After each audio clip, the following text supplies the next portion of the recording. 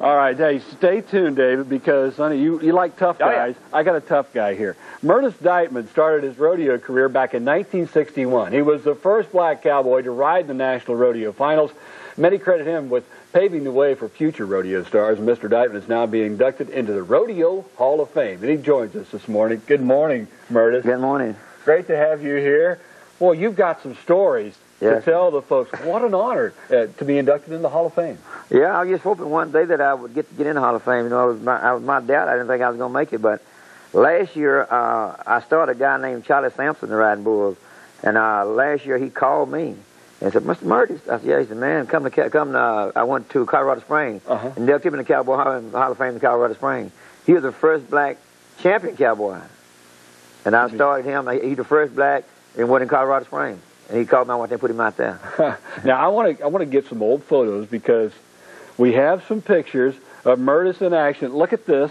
Bull riding at its best right here. You were seven times uh, in the NFR, yes, sir. into the World Series. Tell us about some of the. I mean, this had not. This couldn't be easy. To, it's a tough sport anyway. Then you go into some arenas, and maybe some people didn't want you in there.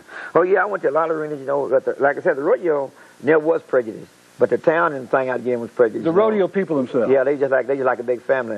They would even help you beat them. You know, they would pull your rope or whatever to beat whatever could loan you. They would loan it. You know, but a lot of towns I went in, they'd uh, they they'd make you ride after rodeo and thing like that. But I didn't care because I went anywhere, and uh, it was it was a good sport. And I tell you what, that's I like to do it all over again. Well, well, the message I guess that that you want to pass along is you just kept going. You stayed focused on what you were doing, despite what other people were doing.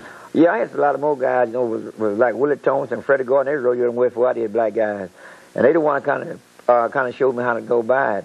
And uh, so I was looking at TV one time, and I seen all these white guys on TV. So I said, uh, "Man, I wonder why I don't see no black guys Uh-huh. in the final." So I got told, they said, "Man, I just want to let you go." I said, "What you mean, I want you to go?" I said, "A bull is a bull." Yeah. You know, I said, "Oh, they ride them, I can ride them."